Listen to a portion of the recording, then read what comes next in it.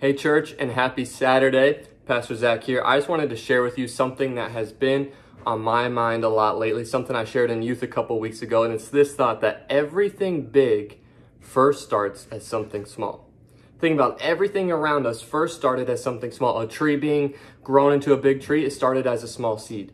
Uh, a, a thought, something that you can't even see. You can't even see the impulse in the brain, but it, it turns into, that thought turns into an idea that, that and it grows into be something big.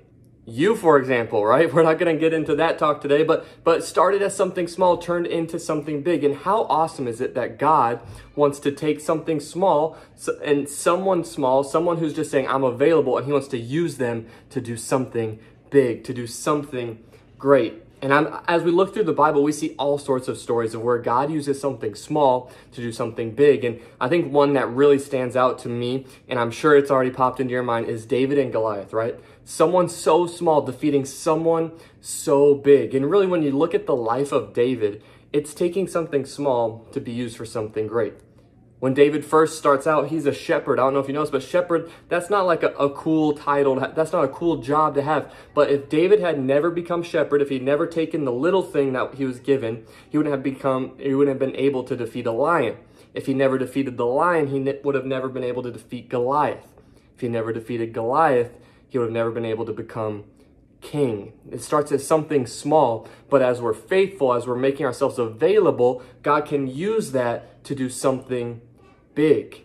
Think about David going out to the battlefield. He didn't walk there with a full army. He was delivering lunch to his brother. He was doing a chore and he showed up at the battlefield. And then once he gets to the battlefield, he makes himself available. The king says, "Here, you you can't you can't defeat Goliath. You're too small."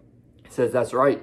I am small, but I'm not too small because you see, I am I'm small, but I'm a secret weapon. Secret weapons, they can't be too big. Therefore, I have to stay small. I can be used for something great. He says, okay, well, then you're going to use all of my armor. He says, no, guess what? I got something small.